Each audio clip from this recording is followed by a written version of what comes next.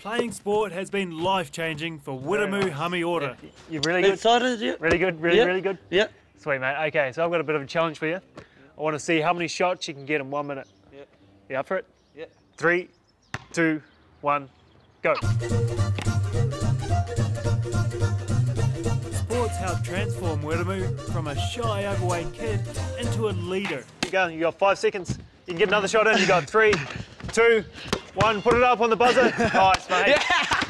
That's 20. Work it, man. Is that the most you've done?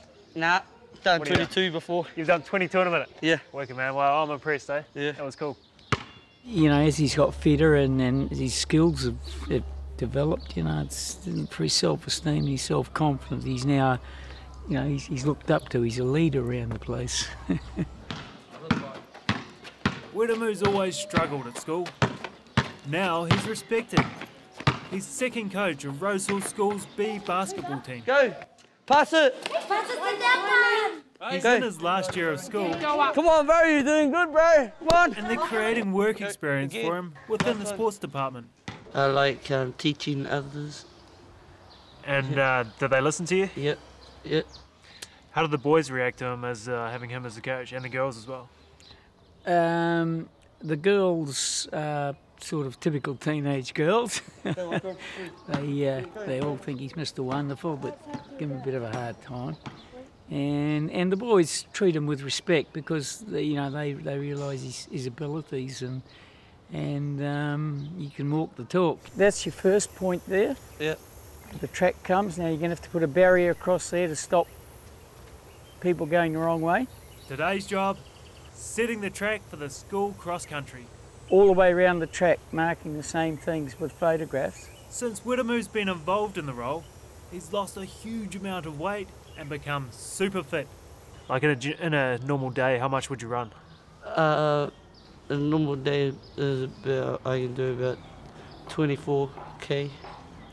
Yeah. So you run everywhere, don't Yeah. you? Wiremu lives Yeah, with his auntie again, Jean. And again. She's losing her Okay. sight, That's so relies on Wiremu's help. He's learnt valuable life skills. So who cooks the dinner here now? Um, sometimes I do, sometimes he does. But um, he usually cooks a boil up or a roast. If I tell him what we need, uh, he'll go and do it. Wiremu cooks, mows the lawns, and runs the family vegetable garden. He helps me. He helps me a, a lot around the house, uh, especially at night time because that's where uh, night time is, is where I can't see properly.